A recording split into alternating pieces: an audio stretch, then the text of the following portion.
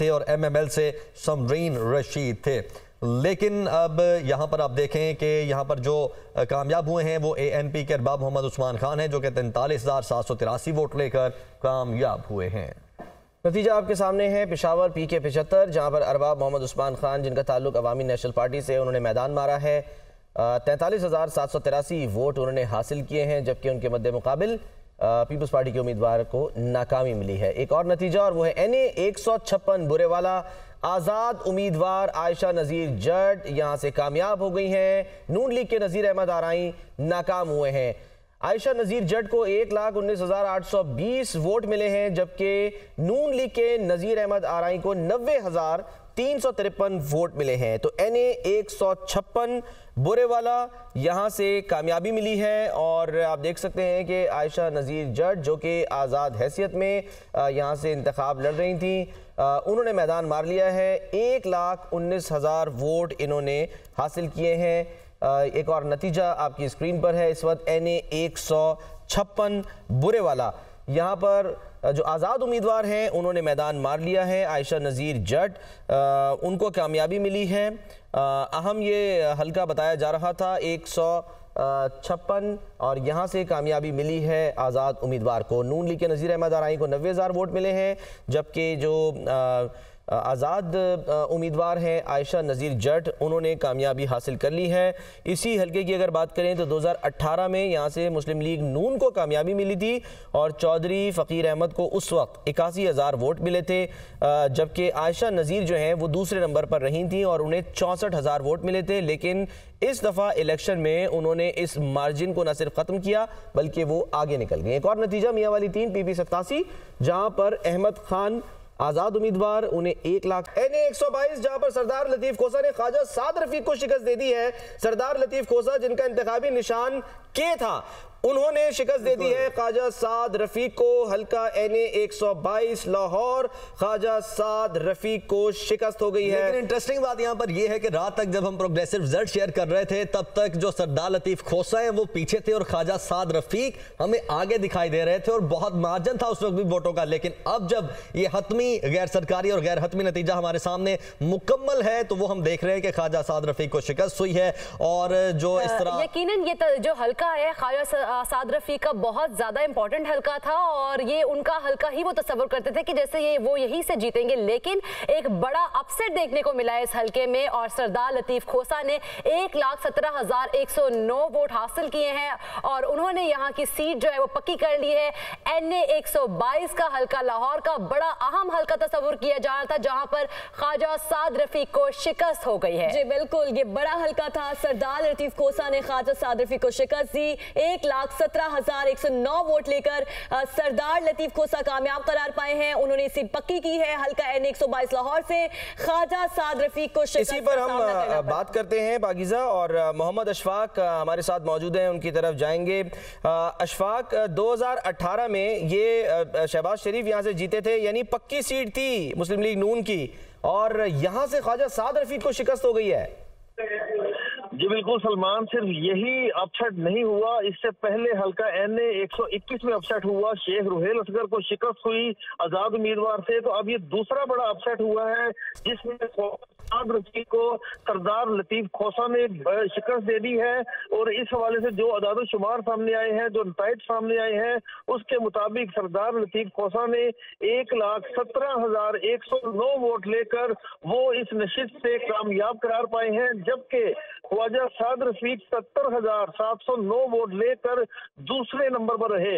यानी सरदार लतीफ खोसा ने बड़े मार्जिन से ख्वाजा साद रफीक को इस हल्के से शिकस्त दे दी है और जो सरदार लतीफ खोसा है, वो हल्का एन ए एक सौ बाईस से कामयाब करार पाए थे। ये भी मैं आपको यहाँ पर बताता हूँ कि इससे पहले जब एन ए एक सौ बाईस के कागजात जमा हुए थे तो बानी पीटीआई ने इस हल्के से इलेक्शन लड़ना था, लेकिन उनको सजा याफ्ता होने की बुनियाद पर इलेक्शन के लिए नाअहल कर दिया गया था और फिर सरदार लतीफ खोसा को चुना गया कि वो इस हल्के से ख्वाजा साद रफीक के मुकाबले में इलेक्शन लड़ेंगे। तो इस वक्त जब नतज ये सामने आए हैं तो इस हवाले से सरदार लतीफ खोसा ने ख्वाजा साद रफीक को शिकस्त दे दी है। सरदार लतीफ खोसा एक लाख सत्रह हज़ार एक सौ नौ वोट लेकर कामयाब करार पाए हैं। इससे कबल जो दूसरा बड़ा अपसेट हुआ था, वो ये हुआ था कि शेख रुहेल असगर की जो कौमी असम्बली की नशिस्त थी जो हर मरतबा जीतते आए हैं वो भी वो अपनी नशिस्त हार गए हैं। और यूँ लाहौर से कौमी असम्बली की दो नशिस्तें मुस्लिम लीग नून को इस हवाले से बड़ा नुकसान उठाना पड़ा बहुत बड़ा अपसेट है और सरदार लतीफ खोसा जो है वो अपने मोकल को तो नहीं जिता सके थे आ, लेकिन यहाँ पर खुद जीत गए हैं वो। लेकिन तो... यहाँ पर एक और इंटरेस्टिंग फैक्ट है आखिरी दिनों में इलेक्शन कंपेन के आखिरी दिनों में इलेक्शन से चंद दिन पहले पाकिस्तान तरीके साहब के साथ जो इनकी एफिलेशन थी उस पर भी क्वेश्चन उठना शुरू हो गए थे लेकिन इसके बावजूद आप देखें कि इतने बड़े मार्जन से वो यहाँ पर फतेहयाब हुए हैं। अशफाक, आप सुन पा रहे हैं? जी बिल्कुल। लाहौर का हल्का एन ए एक है। मैं इससे पहले भी बानी पीटीआई ख्वाजा साद रफीक के मुकाबले में इलेक्शन लड़ चुके हैं और इस मरतबा जब इलेक्शन लड़ना था तो बानी पीटीआई और सरदार लतीफ खोसा दोनों की जानब से कागजात जमा करवाए गए थे। और जब बानी पीटीआई को इस हल्के से अहल, अहल कर दिया गया तो एक और बहुत दिलचस्प बात यह है कि मुस्लिम लीग नून के रहनुमा मियाँ नसीर ने जो बानी पीटीआई के खिलाफ वो कंपेनर थे तो उन्होंने उनकी दरख्वास्त पर इनको नाहल किया गया था। वो भी आज अपने हल्के से शिकस्त हम्म। खा गए हैं। पीपी एक सौ सत्तावन से सूबाई असम्बली का हल्का है वहाँ से मियाँ नसीर को भी शिकस्त हो गई है और इस हल्के में एन ए एक सौ बाईस में ख्वाजा साद रफीक को शिकस्त हुई है और बड़ी नशिस्त थी ख्वाजा साद बहुत गरीब तस्वुर किया जाता है। अक्सर अकात जो है वो साथ उठना बैठना ख्वाजा साद रफ़ी का और मियाँ नसीर का महाफिल में अक्सर जो है वो साथ दिखाई देना कहीं पर अगर कोई कॉर्नर मीटिंग है तो उसमें भी साथ दिखाई देना और साथ साथ ही हार गए दोनों। जी बिल्कुल। मियाँ नसीर जब कंप्लेनेंट बने बानी पीटीए के खिलाफ तो उस वक्त उन्होंने ये कहा था कि हमारी तो बहुत अच्छी कंपेन है हम इलेक्शन जीतेंगे। तो आज जब नतज सामने आए हैं वो तो इंतहाई हैरान को नतज है। यही वजह थी अशफाक यही वजह थी चमगोइयाँ हो रही थी जब सरदार लतीफ खोसा जो है वो केसेस के लिए नहीं जा रहे थे तो ये चमगोइयाँ हुई ये अफवाहें उड़ी कि जी उनको शायद केसेस से अलग कर दिया है। बानी चेयरमैन की जानब से अलग कर दिया गया है। लेकिन फिर बाद में जो है वो क्लैरिफिकेशन आई कि नहीं भाई उन्होंने अपनी कैंपेन चलानी है इसलिए वो आ, जो है वो केसेस के लिए नहीं जा रहे नहीं पेश हो रहे। तो ये हम कह सकते हैं कि उस वक्त स्ट्रैटेजी थी कि जी वो हल्के में निकलें और जाकर वो अपनी भरपूर कैंपेन चलाएँ और भारी मार्जिन से कामयाबी हासिल करें। जी, बिल्कुल, ऐसा ही था और उनकी नस्बत सरदार लतीफ खोसा की नस्बत ख्वाजा साद रफीक ने तो डोर डोर टू डोर मुहिम चलाई, उनको अच्छा खासा मौका था, वो कारकुनों को मिलते भी रहे, लेकिन ख्वाजा, जो सरदार लतीफ खोसा है, इन्होंने तो गुजशत पंद्रह दिनों में बाकायदा इंतबी मुहिम शुरू की, ये मार्केट्स में गए, बाजारों में गए, गली मोहल्लों में गए, डोर टू डोर मुहिम चलाई और उसका नतीजा आज ये निकला है कि सरदार लतीफ खोसा ने हल्का एन ए एक सौ बाईस के नशीस ख्वाजा साद रफीक से छीन ली है और ना सिर्फ़ छीन ली है बड़े मार्जिन से उन्होंने ये कामयाबी समेटी है और उनके साथ साथ जो मियाँ नसीर है पीपी एक सौ सत्तावन से उनको भी इस हल्के में बुरी ठीक है ठीक है अशफाक बहुत बहुत शुक्रिया। ये एक और जो है वो बड़ा नतीजा था जहाँ पर सरदार लतीफ खोसा जिनका इंतबी निशान था के वो इस हल्के से के फॉर किंग बन गए हैं और उन्होंने ख्वाजा साद रफीक को शिकस्त दे दी है। उन्होंने वोट लिए, पीपी एक सौ लाहौर नून लीग के इमरान जावेद। तेईस हज़ार एक सौ बीस वोट लेकर कामयाब हुए हैं, जबकि अजीमुल्ला खान इक्कीस हज़ार सात सौ अठहत्तर वोट लेकर दूसरे नंबर पर मौजूद हैं। पीपी एक सौ तिरसठ, लाहौर का नतीजा है। नून लीग के उम्मीदवार जो हैं, वो पहले नंबर पर मौजूद हैं, जबकि आज़ाद उम्मीदवार अजीमुल्ला खान थे, जिन्होंने नाकामी अपने नाम की है और नून लीग के इमरान जावेद ने तेईस हज़ार से जायद वोट अपने नाम किए हैं और आज़ाद उम्मीदवार अजीमुल्ला खान ने इक्कीस हज़ार सात सौ अठहत्तर वोट अपने नाम किए हैं और नाकामी भी अपने नाम की है।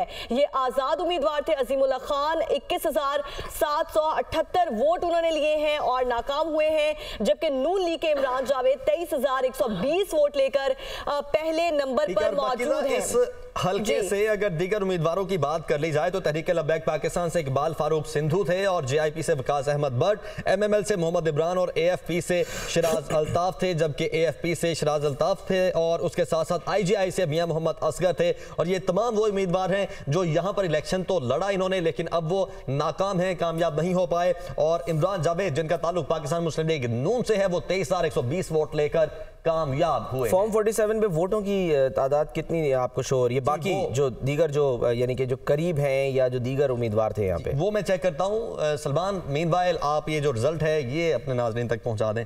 क्योंकि आप कह रहे हैं ना कि ये हल्का है तो उसमें ये तो भारी थे उसमें हल्का कौन रहा वो भी जो है वो हमें देखना चाहिए फॉर्म 47 क्योंकि बड़ा अहम है आमिर जब फॉर्म 47 आ जाए तो एग्जैक्ट डिटेल आ जाती है और इसी का हम इंतज़ार रात से कर रहे थे जी। जो आपको याद होगा कि इलेक्शन कमीशन ने एक छोटी सी एक प्रेस कॉन्फ्रेंस मुबैना प्रेस कॉन्फ्रेंस की थी। उसमें उन्होंने सिर्फ़ दो हलकों का जो है वो बताया जिनमें आज़ाद उम्मीदवार कामयाब हुए थे। उसके बाद फिर अब फॉर्म 47 के आने का सिलसिला जारी है। तो एक और जो है वो नतीजा हम आपसे शेयर कर रहे हैं। वो आपकी स्क्रीन पर इस वक्त मौजूद है। जबकि आज जो है वो सरदार लतीफ़ खोसा को ख्वाजा साद रफ़ीक ने दिली मुबारकबाद दी है। और ये कहा है कि जी अवामी फैसले